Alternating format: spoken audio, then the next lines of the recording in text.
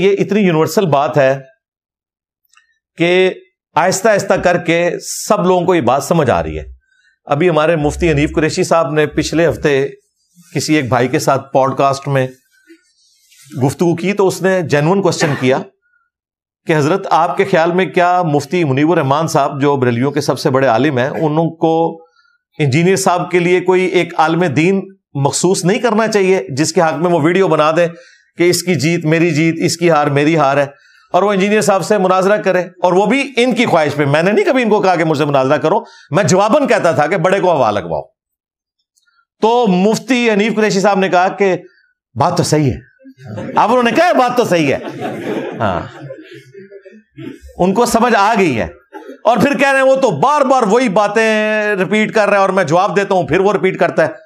मुफ्ती साहब, ना तुसी कोई जवाब देता, ना तो किसी वड्डे भरा ने, ना कोई छोटे भरा ने, जवाब है ही नहीं है। तुम झूठ बोल रहे हो जवाब में।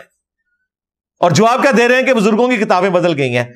सवाल मैंने ये किया था कि ओ मुफ्ती 2009 में तूने चिश्ती रसुल्ला का दिफा किया था मुनाजरे में बैठ के। तू अल्लाह के नबी को क्यामत के दिन क्या मुँह दिखाएगा?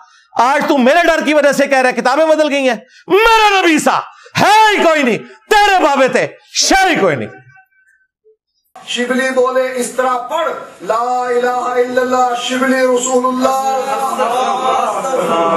और खत्मे नबूवत के डाकुओं शिबली को रसूल बनाने वालों ला इलाहा इल्लल्लाह चिश्ती रसूलुल्लाह ला इलाहा इल्लल्लाह शिबली रसूलुल्लाह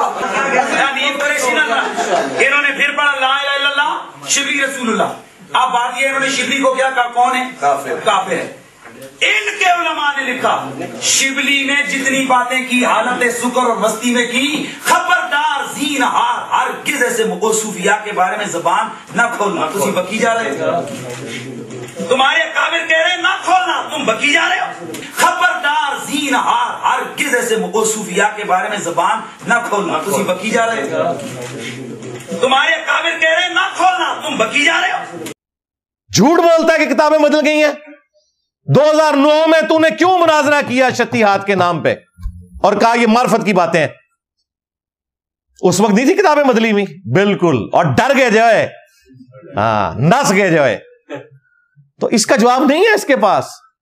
कहता जवाब रिकॉर्ड करा रहा हूँ। जवाब है, जी, किताबें बदल गई ना अगली कल करो। ये जवाब है? तेरे पीर मेरली ने दिफा किया हुआ है। तहकीकुल हक फ़ी कलमतिल हक के अंदर। उस वक्त तो टार्जन बना हुआ था जी, मैं गुलामत कादियानी से बात करूँगा। शुक्र करो नीचे गल हुई। मुँह ना मार छड़ना सी उन्हें। उन्हें कहना सी कि तेरे कार खुरा पे निकलता है, चिश्ती रसुल्ला था हाँ। तेरे आला हज़रत ने दिफा किया हुआ है। सबा सनाबिल की तारीफ़ की है, कहा रसुल्ला की बारगाह में मकबूल है। उसमें भी चिश्ती रसुल्ला निकला है। अगर आला हज़रत को पता था तो आला हज़रत गया। और अगर उसे नहीं पता लगा तो बुजुर्गी गई। लो सामो। तेरे चाचू ने दिफा किया, थानवी साहब ने। असुन्नतुल जलिया फिल चिश्तियत अलिया के अंदर। चाचू भी फारग हो गया।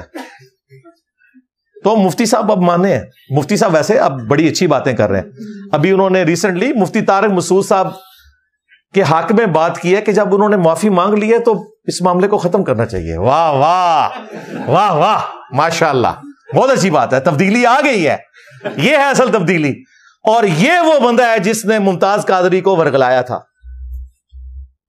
और वो उसकी वीडियो मौजूद है, जिसमें इसने अपनी पगड़ी ऐसे गिरा दी थी कि जी 295 सी के बारे में किसी ने ये, वो कर करके तो देखो, कदे कोई मौलवी या उसका बेटा किसी को कत्ल करने के लिए एक्स्ट्रा जुडिशियल तरीके से सामने नहीं आया। हमेशा लोगों के बच्चे वर्गलाते हैं ये।